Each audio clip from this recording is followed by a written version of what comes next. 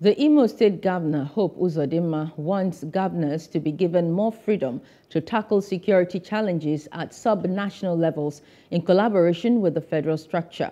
The governor said this while fielding questions from State House correspondents shortly after meeting with President Bola Tinubu. While the federal government continues to detain the leader of the proscribed indigenous people of Biafra, IPOB, Nnamdi Kanu, the Southeast has witnessed unrest owing to the sit-at-home directive still being enforced. Uzodimma stressed that while he has no security vote to draw from, he manages to adopt both kinetic and non-kinetic strategies to deal with the challenges within the ambit of the law.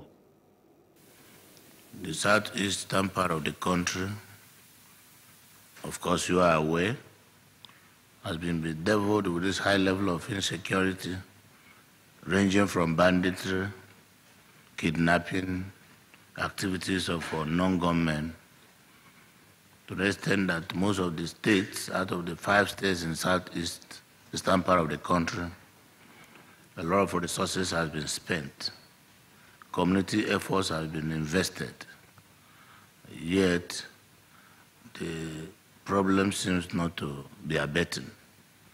So the leadership of the zone met and agreed that uh, working with the Forum of Governors from Southeast, that we will come to Mr. President to formally request his intervention and additional support from federal government to ensure that there is peace in the southeastern part of the country. The governor insisted that the people of Southeast believe in the unity of Nigeria and like other regions deserve federal government support to enable them to live their daily lives. He, however, declined to give details of what the Southeast leaders will be demanding from Tinubu when the meeting holds. Because of the indiscriminate killing of people and the high level of insecurity, our people are so afraid to come out, not only because there is any sit-at-home order, but it's perception management that we are trying to do. So there's too much fear into the people that otherwise how can non-state actors give sit-at-home order and it will be obeyed? People are scared. People are afraid because, what they have, because of what they have seen in the past. So, and nobody wants to die, neither me nor anybody.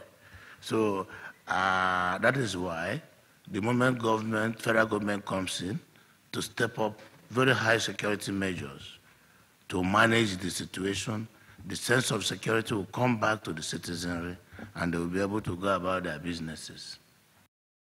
Hello, hope you enjoyed the news. Please do subscribe to our YouTube channel and don't forget to hit the notification button so you get notified about fresh news updates.